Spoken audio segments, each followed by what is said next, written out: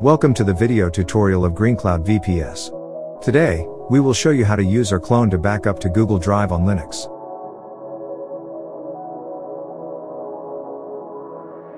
First, update your system. In this example, we will perform on Ubuntu.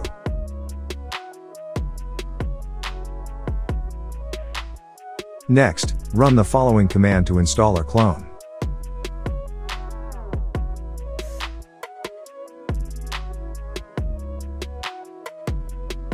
Connections to remote cloud services are called remotes in the rclone world. We need to create one for Google Drive. Start the rclone configuration process with the following command. rclone tells us there are no remotes configured. Press N and enter to create a new remote. It will prompt you for a name. We're going to call it G Drive. Use whatever name you like. A long menu allows you to choose the type of storage you're creating a remote connection to. Scroll through the list until you see the entry for Google Drive, and note its number. We can see that in this instance, it is number 13. Enter this as the storage type and press enter. Next, you're prompted for a Google Application Client ID. Press enter to accept the default. Then, you're prompted for a Google Application Client secret. Again, just press enter. You're asked to provide the scope that rclone will have when it is operating on your Google Drive. Press 1 and then press enter. At the Service Account Credentials prompt, press Enter. At the Edit Advanced Config prompt, just press N. At the Use Auto Config menu, press Y and then press Enter. This causes rclone to communicate to your Google Drive, and to launch your browser to allow you to permit rclone to interact with your Google Drive. On your browser window, click on the Google account you wish to use.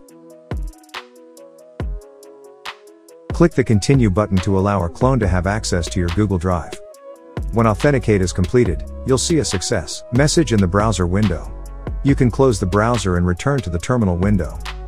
At the Configure this as a Team Drive prompt, type N and then press Enter. At the Yes, Edit, Delete menu, type Y and then press Enter. At the final menu, type Q and press Enter.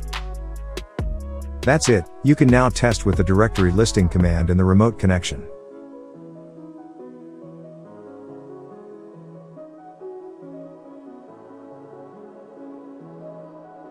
Now, to access the contents of Google Drive from your file manager, you need to mount it first. Create a mount point to mount your Google Drive. We are going to create a new mount point named G Drive.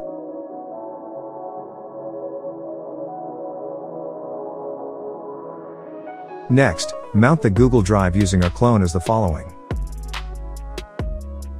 Here, G Drive is the remote name, and G Drive is the mount point name. You can replace them with your values. Click on it to access the contents of your Google Drive. Check it out on your Google Drive and see what happened in our cloud storage. From now on, you can create, copy, move, rename, and delete files or folders the way you do in your local file manager. Anything you put in the local mount folder will be uploaded to your Google Drive.